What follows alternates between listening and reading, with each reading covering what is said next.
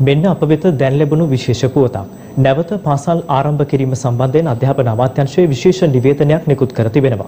බස්නාහිර පළාතේ සහ හුදකලා කර ඇති ප්‍රදේශ හැර දිවයිනේ සෙසු සියලුම පාසල් ලබන 23 වනදා ආරම්භ කිරීමට තීරණය කළ බව අධ්‍යාපන අමාත්‍යාංශය පවසනවා. මෙලෙස ආරම්භ වන්නේ 6 ශ්‍රේණිය සහ 6 ශ්‍රේණියෙන් ඉහළ ශ්‍රේණි සඳහා පමණක් බවද අධ්‍යාපන අමාත්‍යාංශය අවධාරණය කළා.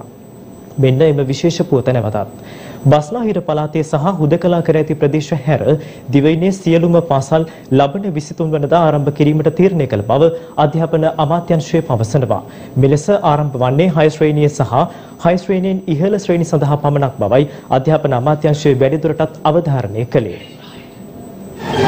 දිනපතා අලුත් වීඩියෝ සහ ප්‍රවෘත්ති නැරඹීමට ඉහත බටන එක ක්ලික් කර සියත TV සබස්ක්‍රයිබ් කරන්න.